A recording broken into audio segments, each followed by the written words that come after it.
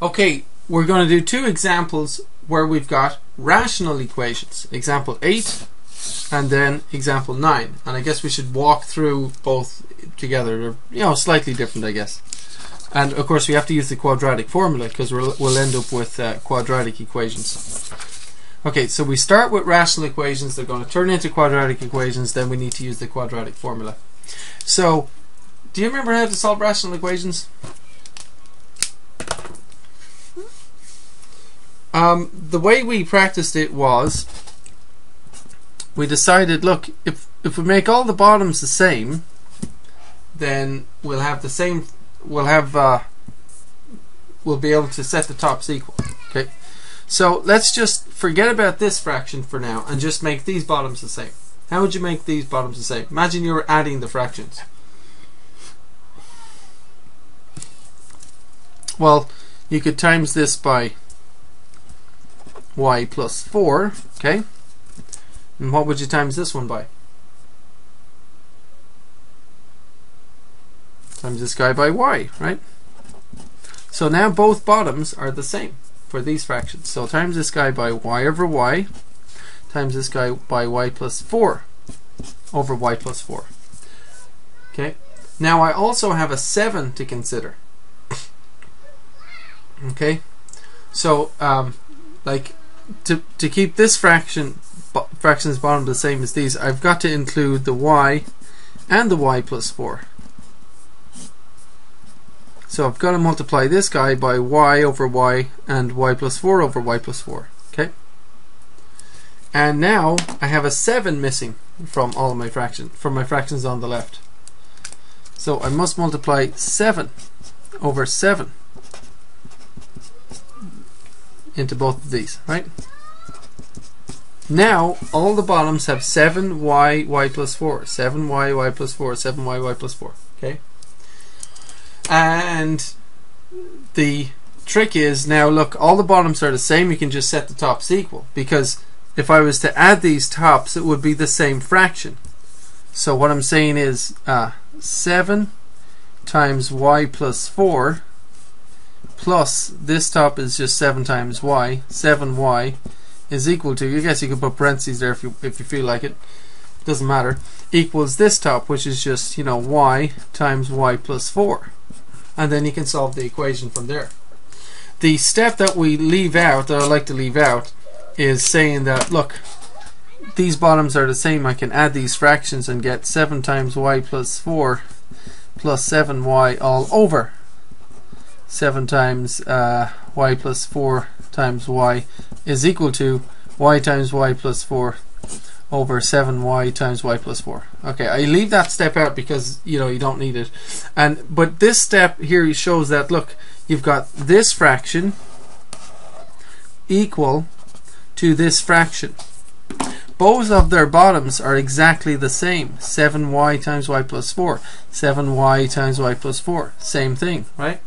If these fractions are equal and their bottoms are the same, then the tops have to be the same. And so you can just set the top equal to the top like like we did here and just solve it. So that was the logic we used for solving rational equations. So if we simplify this, what do we get?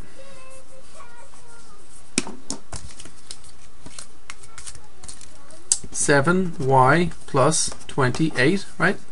Plus seven y equals, and then multiply the y in, y squared plus 4y, right? And then keep going and see what you can come up with. By all means, at this point, press pause and complete the question. See what you get. Okay, so we should add like terms on the left. That would be 14y plus 28, right? Now, with the quadratic formula, remember, it has to be ax squared plus bx plus c equals 0. We need 0 on one side, and then we can solve it. Okay? We do not have 0 on one side. We have to get 0 on one side, right? I like to keep the y squared positive, so I'll subtract 14y from both sides. And that gives me 28 equals y squared minus 10y, a little bit closer to the answer. And now, what should I do to get 0 on one side? Well, I'm just going to subtract 28. So 0 equals y squared minus 10y minus 28. Now you can give your value of a, b, and c, right?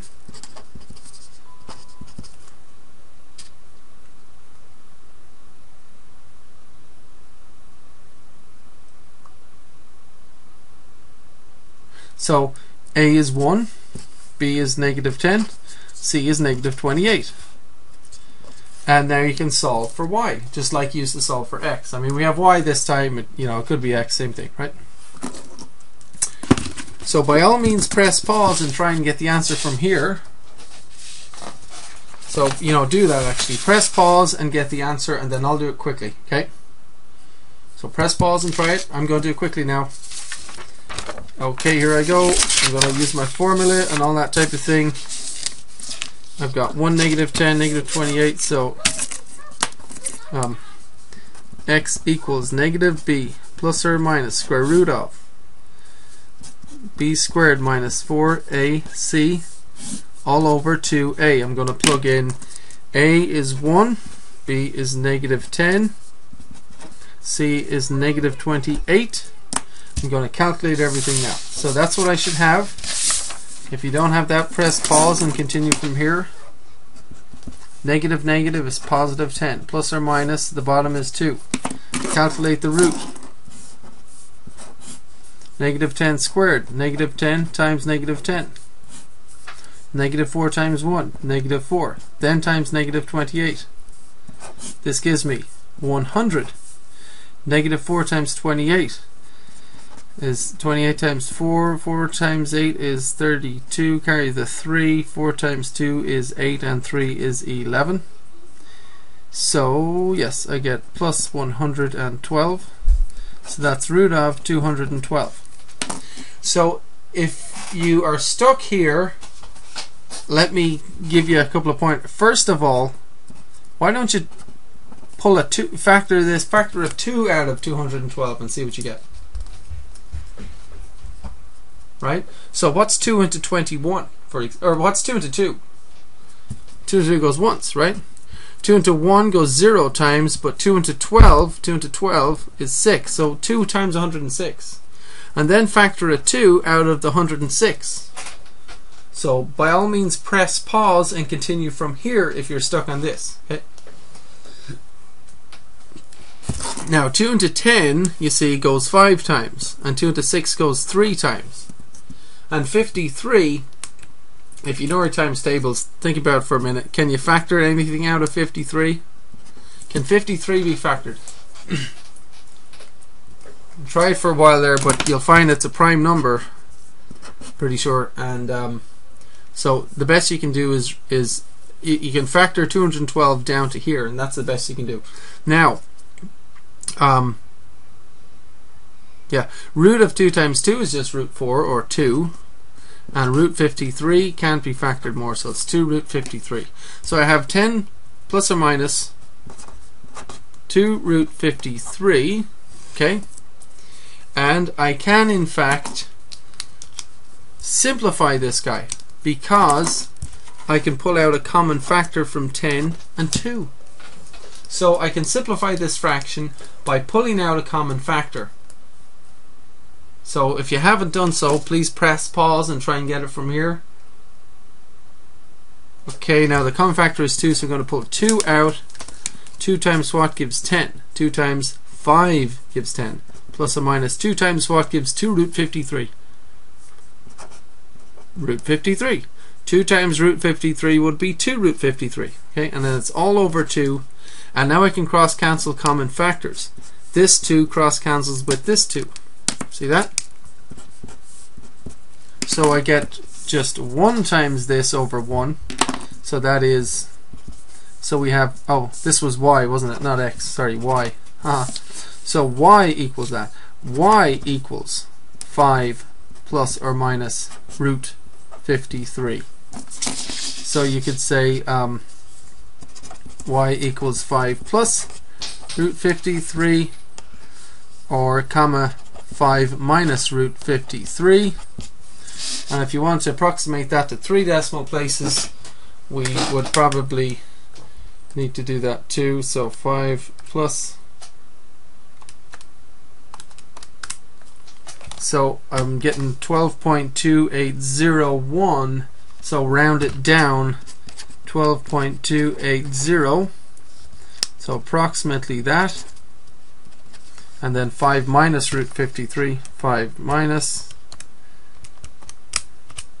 negative 2.2801 negative 2.280 okay? So we've got exact solutions are these guys with the roots the exact roots and then when we rounded we get the approximate solutions to three decimal places okay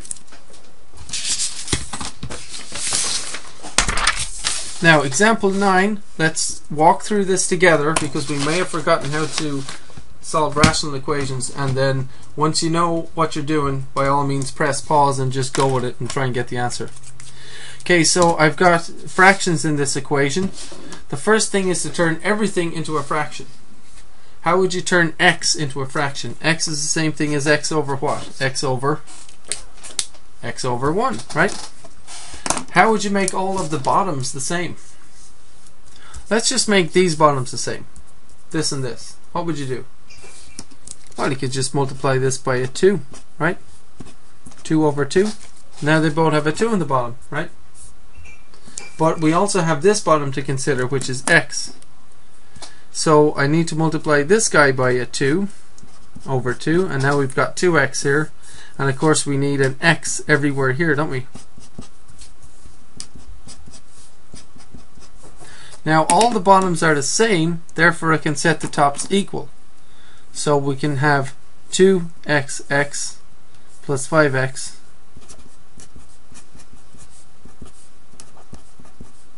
equals 2 times 3.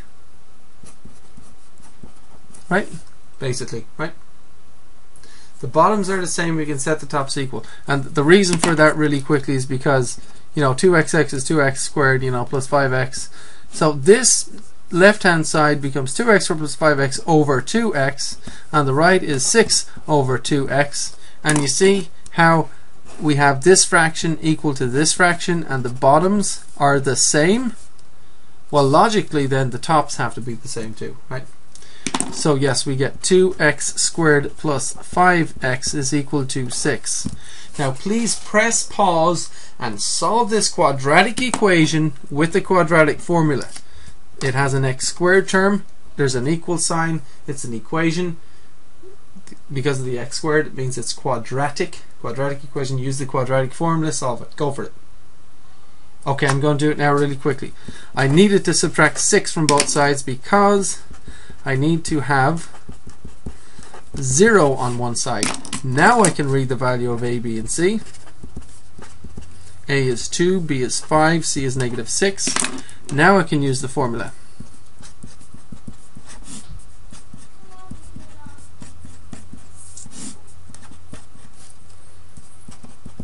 Okay, A goes plugged in here and here, B is 5, that goes here and here, C is negative 6. So I get negative 5 plus or minus whatever that makes all over 4. And I'll calculate this here. Root of 5 times 5. My negative 4 times 2 is negative 8. Then times negative 6. This gives me 25. Now negative times negative is positive, so positive 48. Okay. And if I add those together, 5 and 8 is 13. Carry the 1. 1 and 4 is 5 and 2 is 7 I guess. Yeah and uh, 73 can I factor that? 2 won't go into it because it's an odd number. 3 doesn't go in there. 4 doesn't go in there. 5 doesn't go in. 6 doesn't go into 73 7 doesn't go into 73 8 doesn't. 9 doesn't um, 10 does not 11 12 13 does not go in there 14 15 so this is as far as I can get. So root 73. And so my answer is simply x equals negative 5 plus root 73 over 4 or negative 5 minus root 73 over 4. Okay? Two exact solutions. And I guess we could um, also calculate those as, as decimals if you're asked as well. You'd be able to do that, right?